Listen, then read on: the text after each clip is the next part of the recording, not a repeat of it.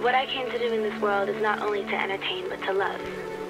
To share, to listen, to improve, to learn, to share music, to share experience, to share feelings, to make people feel happy and empowered, to make people feel like they're not alone.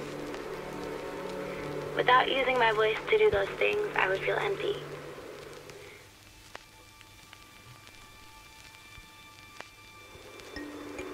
More we realize how much we have in common, the more we listen to each other, the more one we become. You judge because you don't focus on me. You don't focus on each other. You judge because you focus on appearance, on clothes. You focus on what you want from me, what you want from people, how you want them to wear their hair. You judge me. You want to see me dress a certain way, how you want to see them wear their makeup or do their eyebrows. You focus on what you think people should be like for you. But when you stop and you actually focus on them, you see the light in them. When you focus on me, you see the light in me. When you focus on each other, we see the light in each other.